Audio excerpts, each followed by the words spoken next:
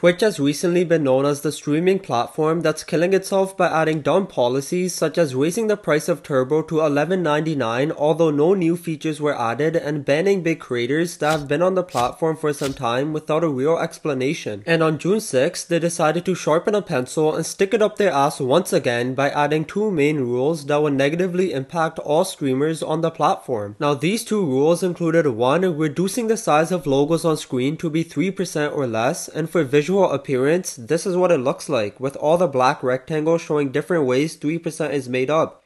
So it's pretty small. And the sec- wait, that's not the first time I heard that, but the second rule is Twitch removing all burned in video ads, display ads, and audio ads. And for those that don't know, burned in ads is basically something like this.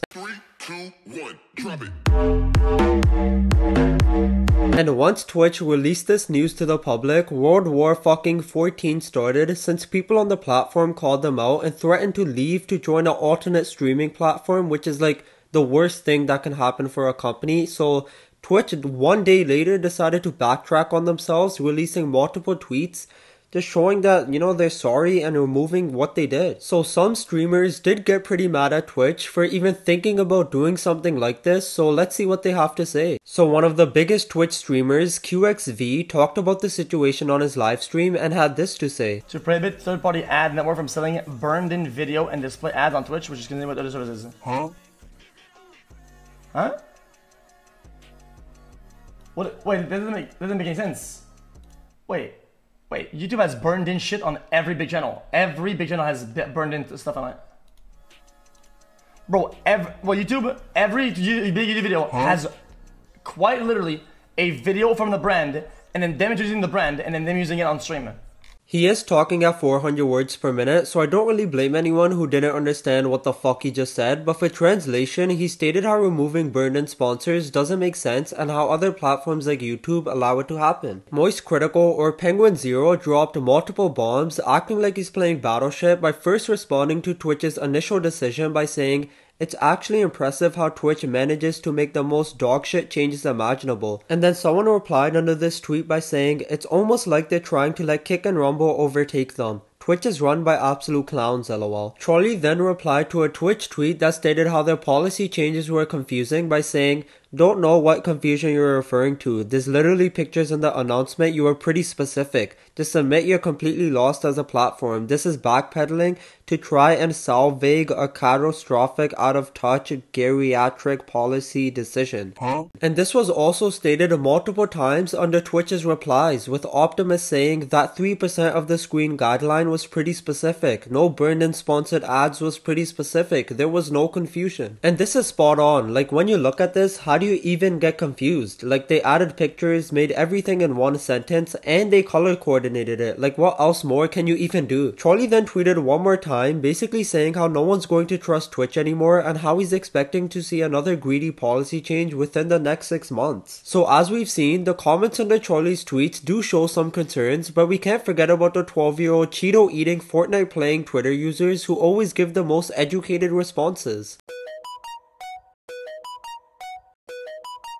Kai Cenat also talked about the situation on his live stream by asking the Twitch CEO to sit in a call with the top streamers to discuss about the problems the platform has. Get the top streamers of your platform, okay? Get the top streamers of your platform, put us in a Discord call. If you really about that, put us in a Discord call, okay? Bring XQC, bring me, bring whoever you gotta bring in. We're gonna tell you what you're doing right and what you're doing wrong. And if you, if, ooh, Twitch, I dare you, if you if you refuse to listen to what we gotta say. Nigga, you ain't funny. That's not true. Maybe you're just boring as fuck. And lame as hell. Cause only lame niggas say that shit. Oh my god. Um, swiftly moving forward. Asmongold tweeted about this incident by saying, I don't say it lightly, but I think this is a legitimate situation where streamers should consider boycotting Twitch or moving to other platforms. And then he also said this in his live stream. I woke up at the exact moment that Twitch decided to kill their own website. I I'm losing my fucking mind. And I'm laying in bed getting mad. Like I'm you guys ever read Twitter in bed and get mad about it? Well, that was me. Do you know why they're trying to remove this? It's so they can do it themselves and monopolize the profits at over 50% from the content creator.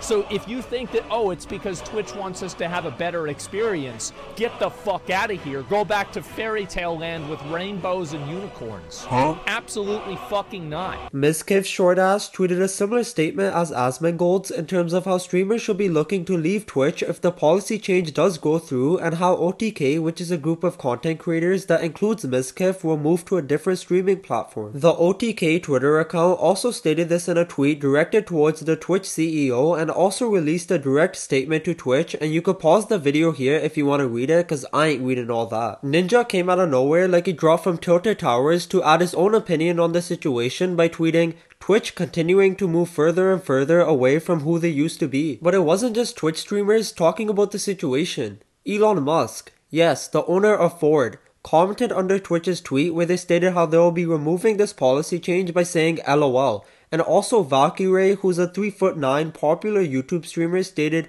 maybe communicate directly with streamers for feedback before making announcements to stay in touch with what's actually good for the platform. And you would think Twitch would already be doing something like this as customers are what runs your business, but I guess they're just brain dead. The funny thing about this entire situation is how these random yellow checkmarked organizations also joining in to roast Twitch, which really shows how badly they messed up. So obviously, after hearing all these negative replies coming from the top streamers, YouTubers who don't even use the platform, and random yellow checkmark organizations, one day after Twitch released their policy change, they unleashed an essay worth of tweets explaining the situation and apologizing for their actions. But let me know what you think about the situation down in the the comments below and feel free to leave a like and subscribe with that notification bell to never miss future videos.